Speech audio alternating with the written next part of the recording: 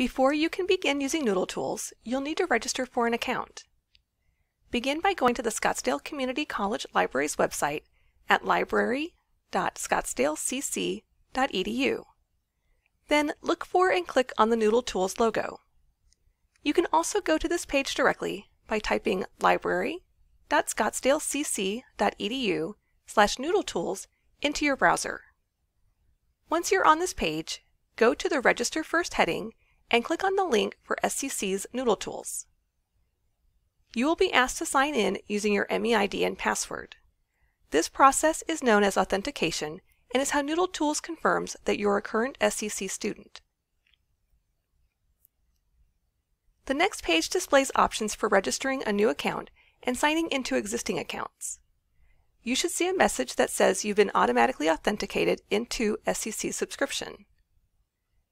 To create your account, click on the Register button at the bottom of the left side of the box. You can simply ignore the options provided to the right as we do not use these services. On the registration page, the account type will default to a school or library subscription and can be left as it is.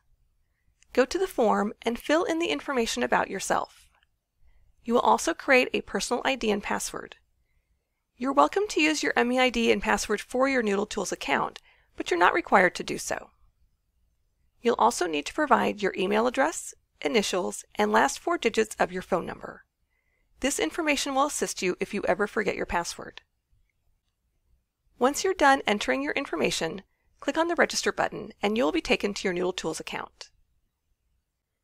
You have the option of signing into your existing Noodle Tools account from the SCC Library Noodle Tools page, but you can also go directly to the Noodle Tools website or use their mobile app. Finally, it's important to know that Noodle Tools requires you to re-authenticate your account at the beginning of the fall semester to confirm that you are still an active student.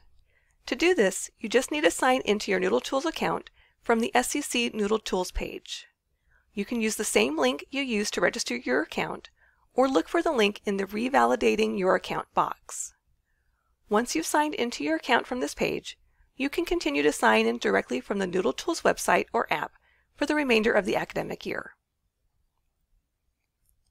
If you have any issues registering or signing into your Noodle Tools account, be sure to contact the SCC Library for assistance. Options for contacting us can be found on our website at library.scottsdalecc.edu.